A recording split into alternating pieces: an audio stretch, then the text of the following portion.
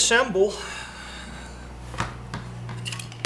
we first put the plunger tube into the back of the gun and it fits in a very close housing here and you want to be careful not to uh, rough up your uh, plunger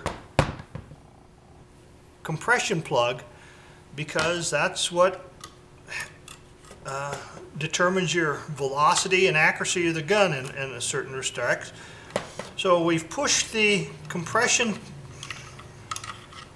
spring down inside the gun. I'm using the same tool to compress the trigger. And if, if you watch closely as I push this spring down, you can see the spring traveling through this hole as it's being compressed. So when it's properly compressed, bad. I'm going to do it like this so I can control it. Okay, let me move the camera a little bit.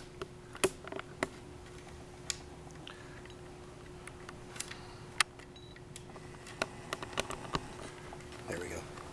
So here the uh, spring is properly compressed and the key should fall in there very easily. You never have to force that in, it just has to be lined up on the compression spring. We're going to talk a little bit now about the compression spring and how the tool has to fit on there. Uh, there'll be a picture on the video that shows approximately the dimensions of this.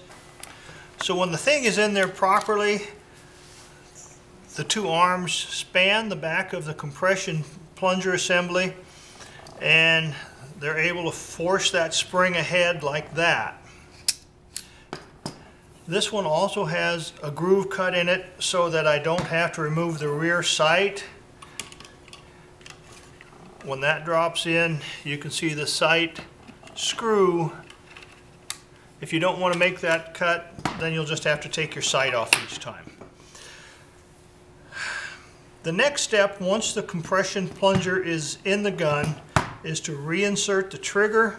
Again, we keep this large flat side of the pin up. Set the trigger in there, take our long machine screw, and we'll be inserting it first through this copper hole, and then the second one will go there. And these are just a couple, couple turns is all we're going to put on them now to just keep them in place. Now we have to put the safety back in.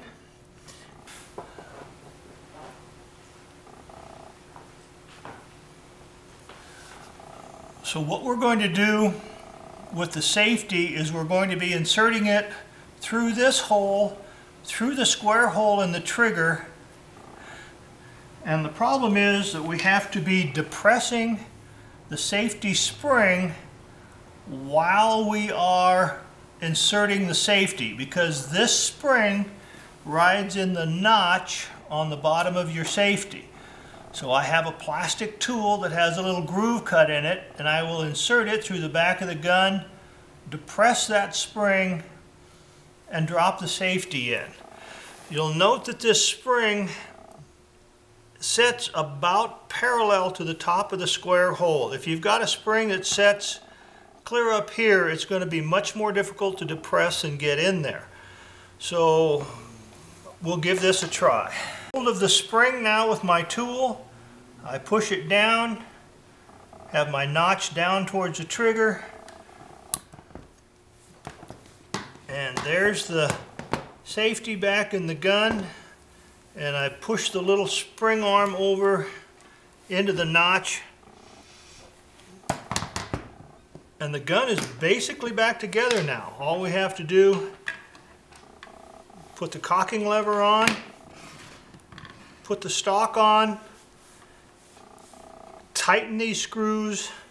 Um, there's no advantage to having them over tight, we just don't want them to fall off. That's simple, simple enough.